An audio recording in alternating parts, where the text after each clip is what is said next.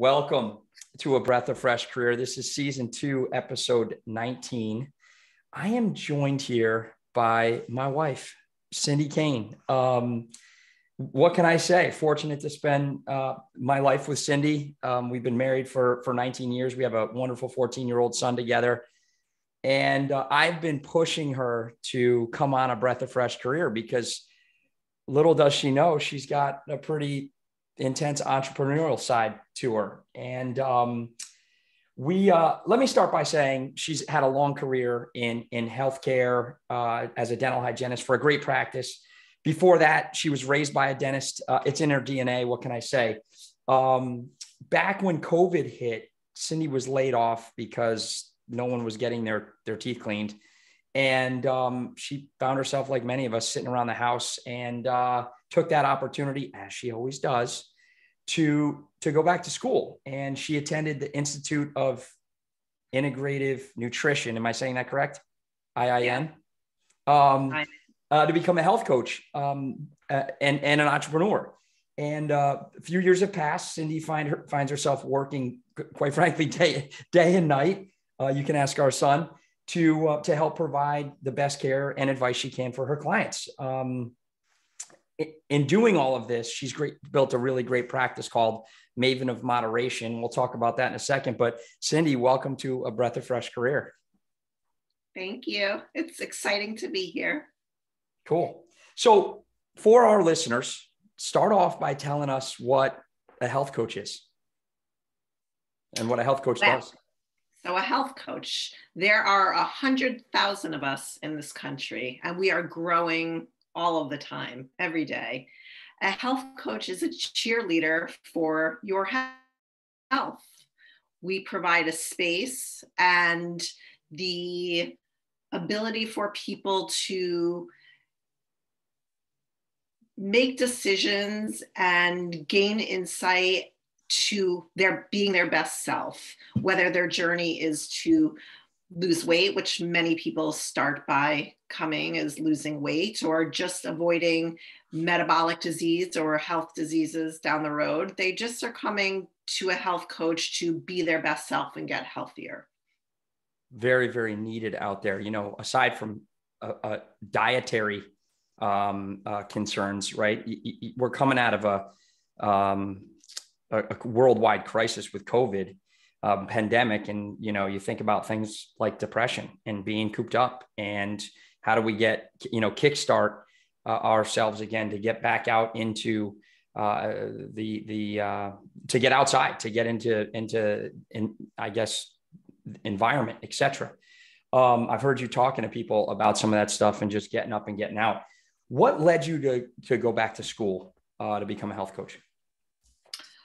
Well, I think you hit the nail on the head um, a little bit earlier that at the beginning of the lockdown, the shutdown, I kind of kept saying to Eli, who's our son, that at the end of this pandemic, we are going to come out of this. I think we should all be better than when we went in, whether that means learning something new. He learned how to write script. Um, that was one of the goals that I had for him. But I just, I thought it would behoove myself anyway if I could be better than when I went in. So I was up one night in the middle of the night trying to get a stop and shop grocery um, list added to the um, you know the delivery shopping so, cart. Yeah, I remember that night. Shopping cart. I'd get up at one o'clock in the morning and make the shopping cart and get a delivery time. And this um, across Facebook came the Institute of Integrative Nutrition health coaching program. And I had never heard of a health coach. And of course, it interests me being in the healthcare field and sort of always having this idea of what healthy is. So I literally looked at it. Um, I looked at some videos. I read about the school and I think I registered the next day. I, I remember you coming back to bed at like 3.30. I'm like, that's a big grocery list yeah.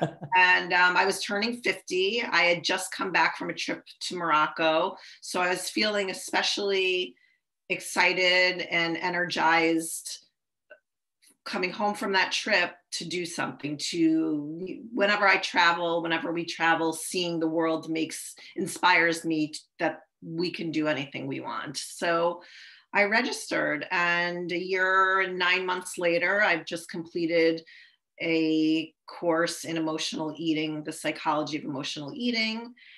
And so I'd say that the pandemic led me to become a health coach, never intending to start a business. I just thought I would learn something and and here I am. Awesome and great little story of the journey. Tell our listeners who you support and if you have a niche market.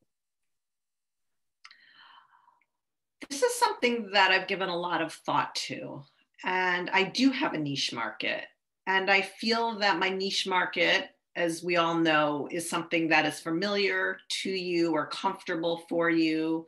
I think, is that what a niche market is? Or, I mean, I know what a niche market is, but knowing um, the market itself is the best way to support people. And I have led a life, thankfully, with an abundance of um, positivity, healthy eating, movement, sort of all of the things that lend to a healthy lifestyle. So, coincidentally, uh, the end of the pandemic, as you said earlier, people are feeling stuck. People are feeling that they have made habits or created habits that haven't been the best for their health. So, then my niche market or the people that I really love to help are people that are looking to reset their lifestyle. So it's all encompassing. And this is also what a health coach does. We are I will say what we're not. We're not nutritionists, we're not doctors, we're not financial advisors, we're not personal trainers. You're all of that for me, honey. But, but that is, and I am all of that for everybody to a degree. Uh, so supporting people in all aspects. And that is sort of what my market is, um, especially women who are pr- looking to prioritize their self care as parents, we are looking after our children and our spouses and not prioritizing ourselves. So that is something that I'm really eager to lend to people. One of the things that I noticed with you are these testimonials that are on your website, and I'll I'll share a link to your website in the in the um, the comments section of, of this this podcast and video. Uh, the most recent um, testimonial is from uh, Alexis L, six month client. Working with Cindy was comfortable and easy. Cindy takes the time to get to know you. She helped me break down my goals into small, achievable steps. She helped me understand the things that I wanted to improve upon and guided me as I worked toward my goals. After six months of working with her, I realized so many amazing things in my life had changed for the positive. She helped me achieve goals I had been wanting to achieve uh, simply by helping me find small but meaningful ways to improve my mindset uh, and day to day life. I mean, that's just, that's amazing. To me, that kind of embodies what you do on a day to day basis. So, um, these these uh, th- th- this mindset, this day to day life. Walk us through what the day in the life of a health coach is who's starting their own business. Please.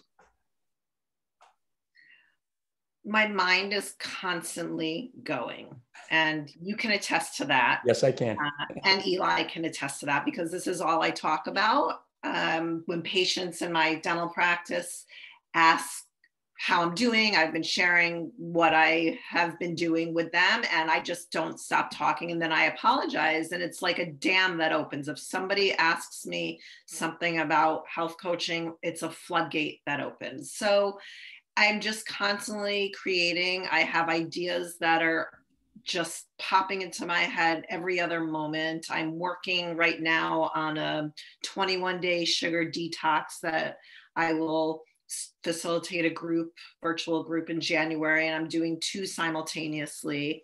I've just gotten a second job at the Jewish Community Center in our town, which I'm so excited to support the people there. Um, and I'm finishing up my emotional eating psychology course, as you know, and I will continue on pretty soon and start a hormonal health course.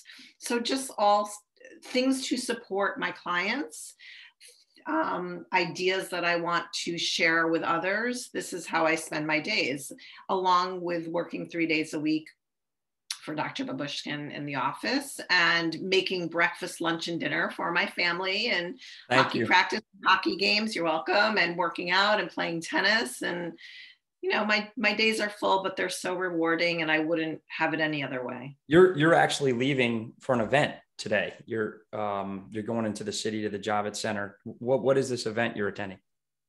Well, I'm so excited to go back to the city. This is my first time in two years. Um, I've been invited to a plant based food trade show. It is an international trade show that actually a patient and a friend of mine has founded. So I'm going to go to the Javits Center and learn about plant based foods. And unfortunately, I'm missing a lecture or a presentation about how to get carnivores to eat more plant based. And I, I'm I appreciate a vegan lifestyle. Um, it's not something that I partake in, but I am interested in learning because it can support my clients. So any little bits and pieces, and this is what I've really found most exciting is everything that I read, everything that I attend, anything that I listen to, I learn something. And it just all is in support for my clients. you clients. can probably give the lecture on how to get a car- carnivore to eat more of a vegetable lifestyle. You're talking to one right now. Um, mm-hmm. I, I've never in my wildest imagination, even before I met you, thought about sushi or uh, or or meatless meat or whatever or it's called. or tempeh or yeah oh yeah exactly. Right. See you're just throwing things out there that i don't on the regular. Um, and it's amazing. Tell us tell us about the name maven of moderation. Why why the name of your business? What does it mean well, maven of moderation. I really believe in moderation. I have always lived my life within this space. I've never been the best at anything and I've never been the worst. I've always been sort of the moderate, and that is true to everything. Um, and then maven is a Yiddish word that means expert. So it's really sort of hard to label myself as an expert in anything but truthfully once i got my certificate so with my history of my life and now my health coaching certificate under my belt i really am able to claim myself as such or or leading in that direction of course. So the maven of moderation is was just this sort of idea that i had in my head and it stuck and it rolls off the tongue. And um, it really it excites me because it is what I really believe in. And it's got a great acronym because you're mom. mom. Yeah. Yes. What how does somebody get started with you as a client? They have to want to change some habits. They want to they have to want to put the time in and once they've sort of decided that or even if they're questioning that, they can go onto my website and w do I say this now or you can say it now, but I'll put it in the comment section as well. So mavenofmoderation.com. And there is an opportunity to schedule a complimentary health history. And that is where we I can answer questions. People are welcome to call me or email me, Cindy at Maven of Moderation, and ask me questions. But basically, just taking the steps to complete a health history or have a conversation. Is that health history virtual or in person? This is all virtual, yes. Okay, cool. You you call it the ripple effect. What is that? Um, and have you kind of collaborated with others to create more wellness? And how have you?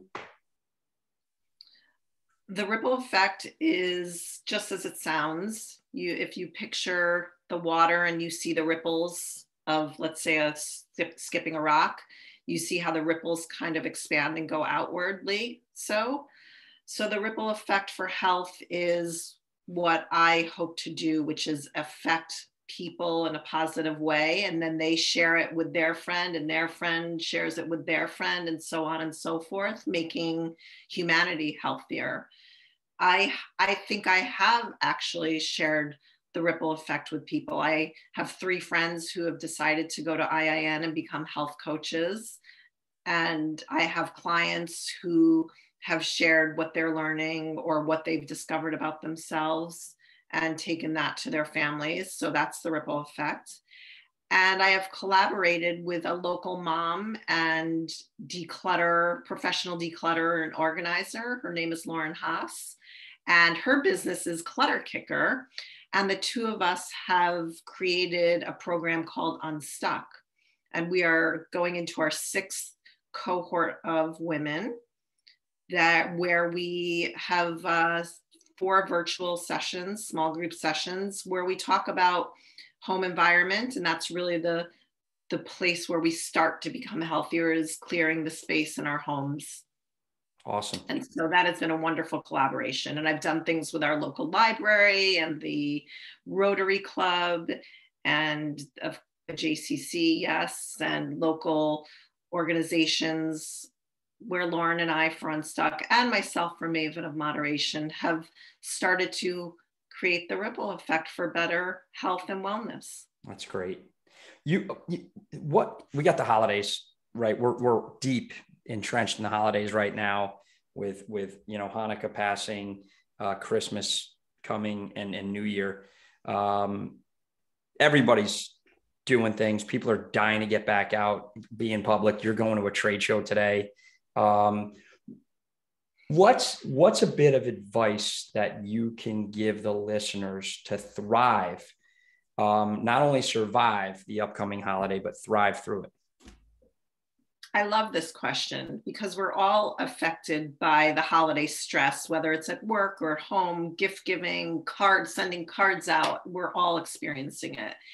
There are a few main points that I could say. And the first one is focusing on your self-care your own self-care and that that looks very differently for many people but there are really prioritizing rest and sleep and movement and eating well, delegating, you know, learning how to delegate. If you've got teenagers or even younger than teenagers, having them help with certain tasks. It's really important as we spend more time with families, set boundaries with those of whom maybe your values don't align. So, really prioritizing your self care, and it's not a selfish act it's actually an act of kindness toward your, towards yourself. And as women and men, spouses, taking care of ourselves in a healthy way really makes us better able to manage the stress. And I love, love, love starting clients off each session with deep belly breathing, or at least breathing. So taking a moment in a stressful on time to just breathe. Nice. You getting out, going out for a walk with the family, going for a run, working out. Everyone thinks about these New Year, New Year, New Year's resolutions. You guys have you have the sugar detox coming up, um, which I'm I'm going to be taking part in. I guess. Um, excited to try that and see how I can can fend we're getting close to the end of this. Is there anything I should have asked you and didn't during this podcast? I mean, I can keep talking, but I won't. Um, I just the, the floodgate. The floodgates will open. I, you know, I should have done a better description of. I could have done a better description of what a health coach um, is or does, and it's. I mean, really all you really need to do, Cindy, is read these testimonials, and it it tells you. Thank you. you know, Thank you. you what we do is we support your goals and we do that providing a safe space we listen and nobody knows their self as best as themselves. So having the space and just the support and accountability is really what it takes to make change. And something that you should have asked me but didn't was who has made this all possible? And that is you and Eli, because without you guys in the last almost two years, year and a half, I wouldn't have been able to do any of it. Yeah, you would have. Thank yeah. you. Yeah. Well, you've been, you've enabled me to have the time to go to school and do my work and meet with my accountability partners and see my clients and you've given me the time and space. So it's been fun watching you on this journey. You uh, looking at your website, um, you've got Facebook, Instagram. Um, I don't know how active you are on Twitter, but uh, where where can our listeners best connect with you and, and learn more about Maven of Moderation and health coaching and, and all that good stuff? Should I list all of those social um, links in the, the sure. description? Okay. Yeah, Instagram, a Maven of, Facebook, Maven of Moderation, email, Cindy okay. at Maven. Yeah. Okay, I'll list all that stuff. Awesome. Well, I I appreciate you coming on. It's I've been pushing for this for you. Uh, and I, I've been on a hiatus from the podcast world for the last month or so because I've just been so busy at work trying to wrap up the year. But um, thank you for coming on, and and I love you, and uh, and you know have fun in, in the city at the show. Thank you. I love you too. All right. Thanks. All right. Bye.